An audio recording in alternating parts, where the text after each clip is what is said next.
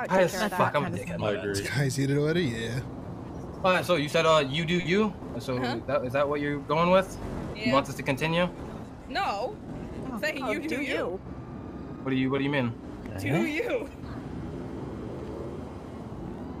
Does us doing us involve? I'm, I'm, I'm lost. So we do you. You, So uh, inter- I interfering. kinda lost it.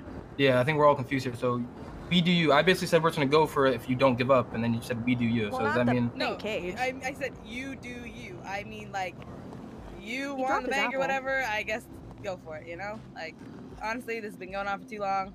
We're all just I trying to vibe. I agree. That's all I want for everyone.